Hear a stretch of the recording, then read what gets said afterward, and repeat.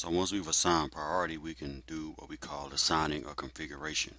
If you recall, recall on a previous slide, I said that the, the uh, groups around the central atom, these groups here, could be oriented cl clockwise or counterclockwise.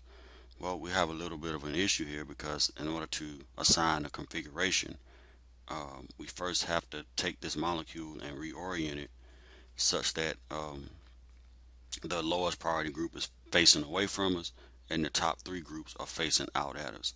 So in order to do this, I want to show you this in 3D and I want four basically to face away from me and I want these three groups here to be facing towards me. So let's look at that. So if I take molecule B and I turn it this direction, right? What you notice is that 4 is now pointed away from me and the top three priority groups are now facing me. We call this the steering wheel configuration. All right, let's look at it again. So here I have it, I have um, molecule B and I'm just looking at it and let's just turn it around so you can see the whole thing.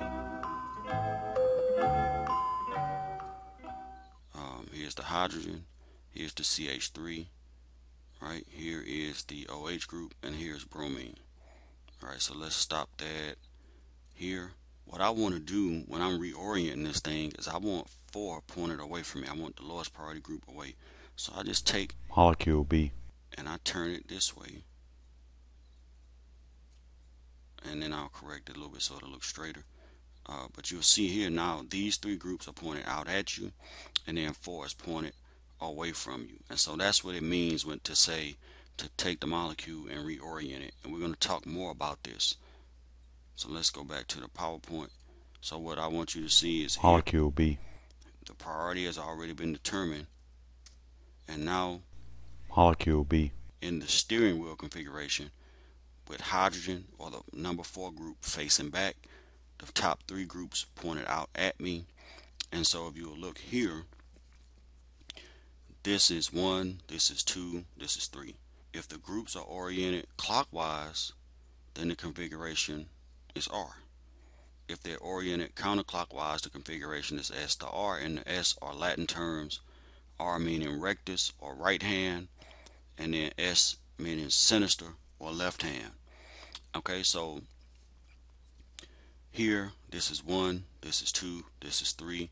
These three groups are oriented in a clockwise fashion and so the configuration here is R alright and we'll do some more complicated examples another time but let's look at that uh, 3D again. So I'm going to go back to here alright this is where I started right? And then I wanted four pointed away so I just rotated this direction right? And now four is pointed in the back. The top three groups are pointed out at me. And so now I have um, this in the steering wheel config conformation and I can just determine whether the groups are oriented clockwise or counterclockwise. Now one of the things to remember is this.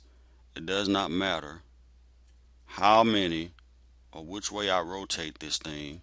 This is still one two and three. If I turn it again this is still one two and three. If I turn it around again this is still one two and three. As long as I'm not taking changing the position of the atoms then the configuration will never change alright if I change the atoms and, and put CH3 here and Br here then that changes the configuration. But if I'm just rotating it in space the configuration never changes. And because of that um, I'm able to say with certainty that this is R no matter where it is located in space right? And it's R because of the way that the groups are arranged around the central carbon.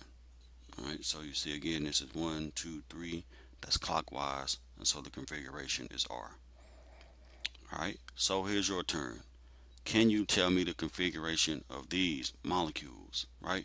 I made it easy because 4 is on the dash, that means it's already pointed away from you. So looking at 1, 2, and 3, can you put this molecule in the steering wheel conformation, whereas you only see the top three groups and you don't see the fourth group and can you determine the configuration? Well, before you do that, you have to determine the priority, which you which I've already done here. All right. So your job is to um, put it in the steering wheel configuration or conformation, and then determine whether it's R or S. All right. So when we come back to class, we're going to talk more about configuration.